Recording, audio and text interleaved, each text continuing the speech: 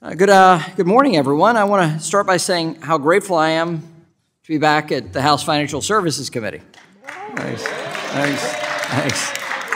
Uh, that, that brief so sojourn did not, um, did not make me envious of other people's tasks. Made me more grateful for the, being able to deal with you and work with you on both sides of the aisle. Um, and so nice to be back. And uh, as we sit here today, uh, we know what's going on in the world. Uh, we hear that clearly.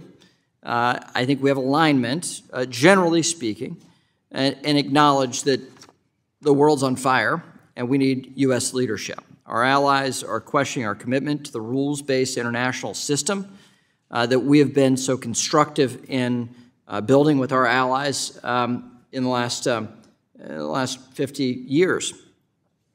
On October 7th, Iranian backed Hamas terrorists launched a barbaric and unjustified attack against Israeli civilians.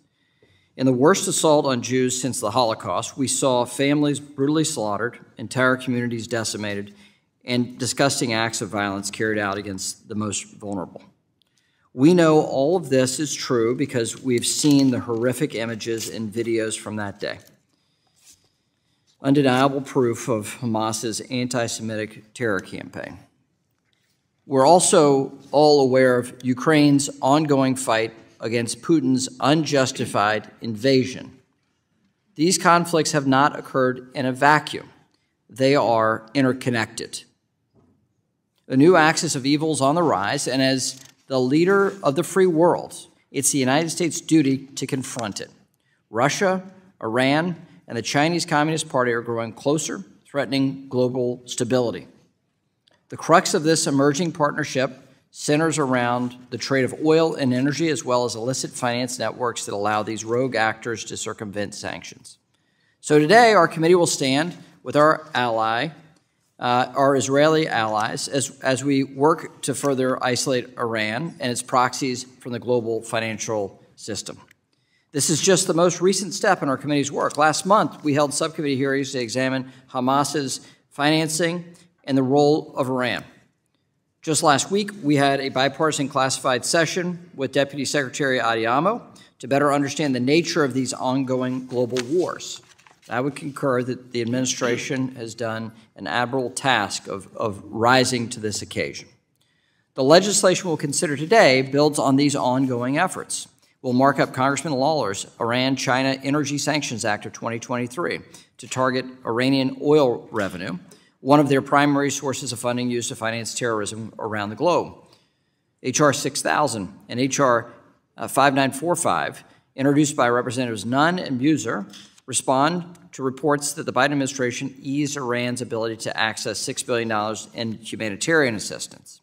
We'll also consider H.R. 5921, introduced by Mr. Huizenga, that would prohibit the Treasury Secretary from issuing any licenses authorizing a U.S. financial institution to engage in transactions for trade with Iran other than food, medicine, and medical devices benefiting Iranian civilians.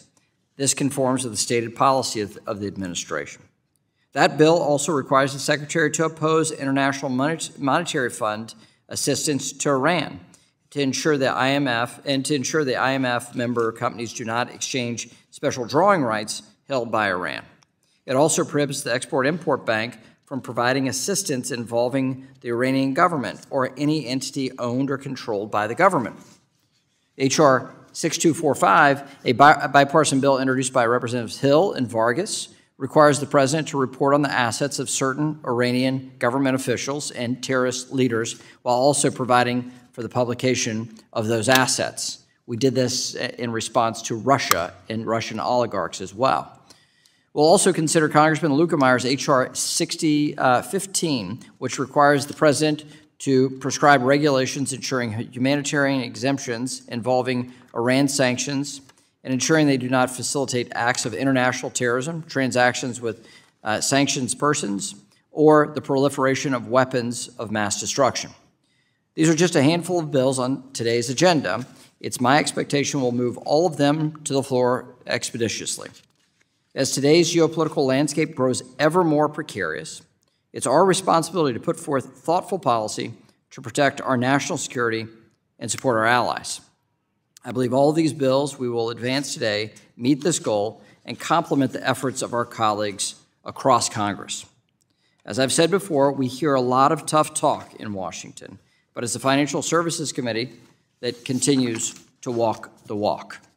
Finally, today, I hope we can focus on our work here in the Financial Services Committee.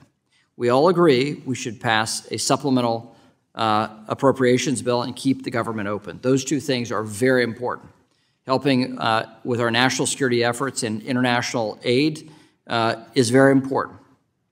And I support the package that is being contemplated in the Senate. I also support keeping the government open. But we're uh, legislating in this committee specific to our committee. And we should use today's markup to advance sound policy, not as a platform for partisan talking points. And I look forward to a robust discussion and debate today, uh, and I yield back.